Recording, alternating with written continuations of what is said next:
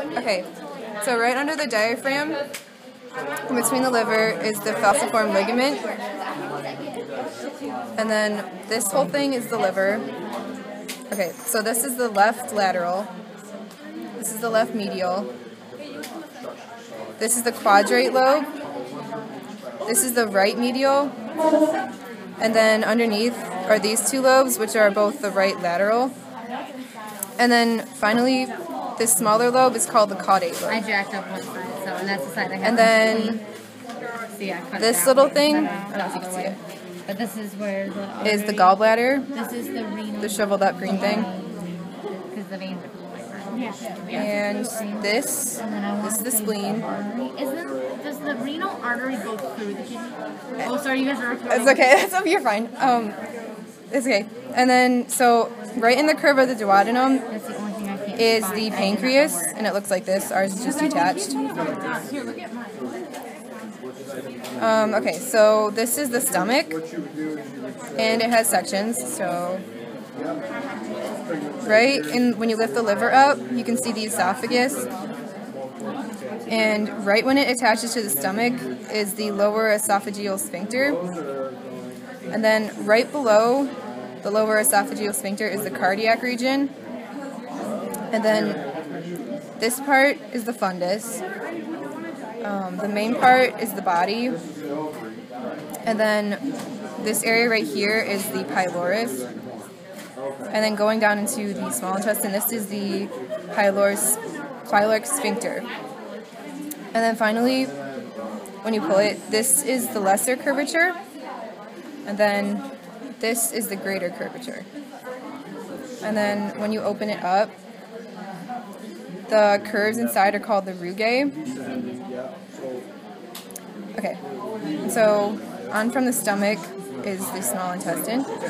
So right when it, um, the pyloric sphincter, this is the duodenum. I don't know if you can see it. Um, and then this main part, the whole thing is the jejunum.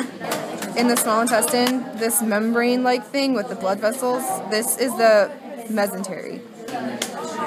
And then let me find the large intestine. Okay, so this is where the large intestine starts. Um, this is part of the small intestine still. This is the ileum. And then this right here is the cecum of the large intestine. And on our cat, our large intestine is pretty short for the ascending colon. So, um, so this is the ascending.